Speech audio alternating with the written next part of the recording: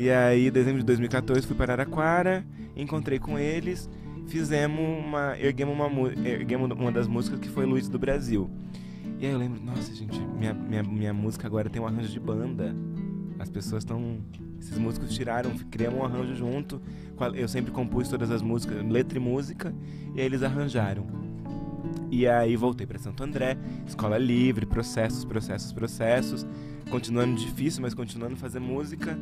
Aí um dia o Zarra, que era o guitarrista da banda, falou: Vem para Araraquara que a gente vai gravar seu EP. Falei, para. Do nada. Não é do nada. Não, tipo assim, mas ele te ligou num Ligou. dia que você não esperava. Num e- dia- provavelmente era um dia muito foda. Assim, de, de. Nossa, hoje tá foda. Vem para Araraquara que a gente vai gravar seu EP.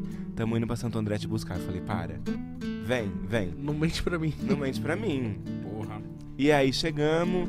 é, se eu não me engano, a gente gravou. A gente fez uma produção que custou 150 reais, 100 reais, 200 reais, mais ou menos. Que foi pra pagar almoço nosso, assim, da, da gravação. E chamamos algumas pessoas de Araraquara que já trabalhavam com, com audiovisual, que já captavam som. Na verdade, a gente levou um cara, o Dré, que era primo do Zarra de São Paulo, que tinha um estúdio pra lá, pra captar esse som. E aí fizemos três músicas, que foi Zero, Luiz do Brasil e Caeu.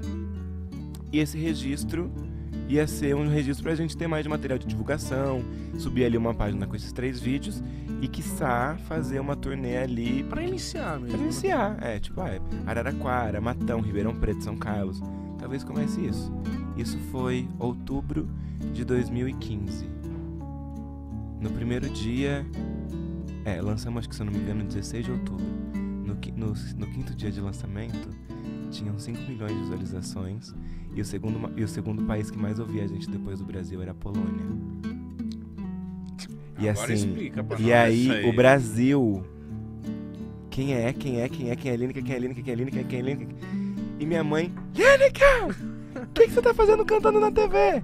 Falei, é, Você mãe. Tava na TV. Tava, não, tava em tudo. Tava em tudo.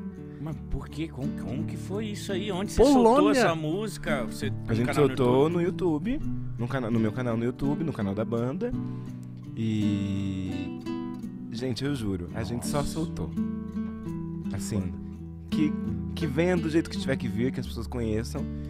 E aí foi muito doido, foi apoteótico.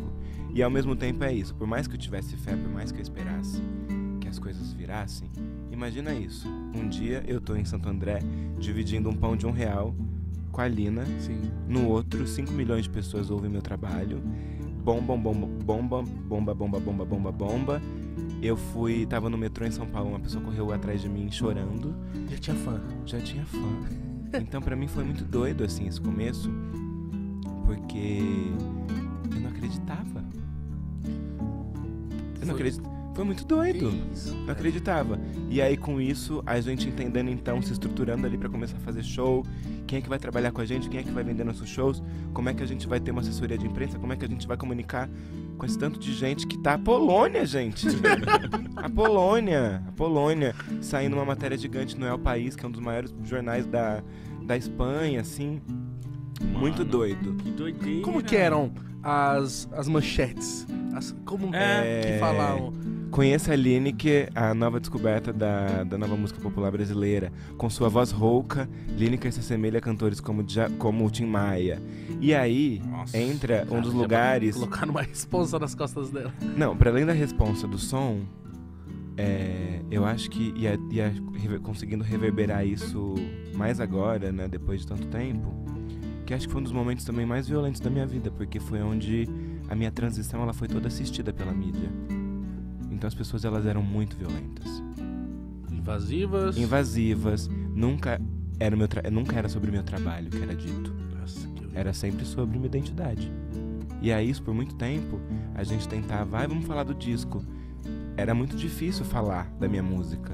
Era muito difícil falar dos, dos discos que a gente tava Que foi fazendo. porque você bombou. Que foi porque eu bombei, bombei, foi pela minha música.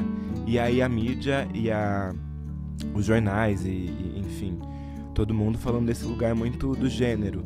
O que foi muito importante porque acho que foi ali também no momento do Brasil onde várias outras artistas começaram a surgir com muita força e criando-se. Tinha Pablo nessa época tava Pablo, foda, né? Lina, As Bahias é Cozinha Mineira, Rico da Laçã, um monte de gente, assim, muito, muita, muita gente. O que foi muito importante pra mim, de entender que eu não tava só, mas ao mesmo tempo, pra mim era muito difícil, porque eu me senti muito violentada. E eu só Foi, fui, né, muito, e eu só fui entender essas violências, tipo, há dois anos atrás, em terapia, falando sobre isso, e entendendo quanto Como isso assim foi violento. entender? Cê- cê- Acho que tá tão no cotidiano, Mítico, que acontece tão naturalmente, infelizmente, que você leva, tipo assim, É, ah, Porque deve o, te- ser, o tempo inteiro eu me via driblando. Eu falava um pouco, mas aí eu queria falar sobre o meu disco. Aí quando eu ia ler a matéria, não era sobre o meu disco. Era sobre minha identidade. E isso é importante, porque isso também tem uma coisa. Acho que as pessoas começam a entender que é possível ser de outro jeito, assim, mas eu queria falar da minha música. Era Eu que queria você falar sobre o meu falar, né? trabalho. E até hoje eu sigo querendo falar do meu trabalho, sigo querendo falar é, do, que- do que eu tenho transformado artisticamente na minha vida, na vida de outras pessoas. Mas esse lugar reducionista, onde a gente só cabe num mês, a gente só cabe numa data, a gente só cabe numa pauta, é um lugar muito restrito e é um lugar muito é, mínimo, assim, quando a gente pode falar de muitas coisas.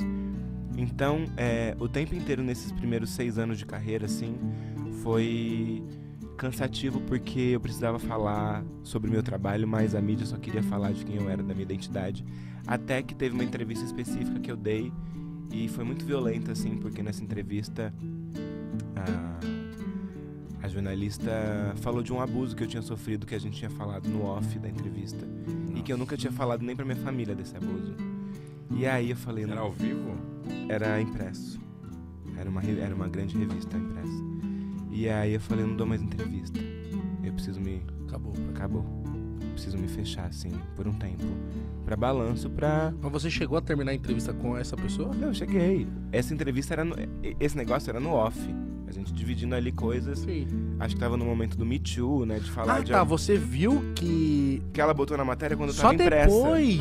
Porque isso eu dividi com ela. A gente dividiu entre a gente. A gente dividiu coisas pessoais. Não, então foi mais E aí, né? além de tudo ser da minha vida, ser nesse lugar do, do gênero, da identidade, teve essa grande violência que foi falar de uma coisa que é importante que se- ser dita, mas eu não tava preparada pra dizer aquilo ainda, por exemplo, Você não Então- queria falar sobre aquilo naquele momento. Não naquele, não exposto, não, não publicamente, como tudo na minha vida já tava exacerbado e público. Então, é muito, é muito foda, gente, assim, acho que isso também foi me tornando uma pessoa mais reservada e mais estratégica também sobre cuidar desse lugar que é tão íntimo e que aí se publiciza, né?